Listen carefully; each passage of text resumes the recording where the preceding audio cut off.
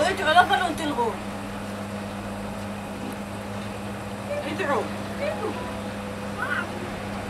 يا رب ادخلنا الجنة يا رب ارحمنا يا رب شو اسمه شافينا آه، ابعد عنا الأمراض احفظ امنا وأبونا اغفر لنا ذنوبنا.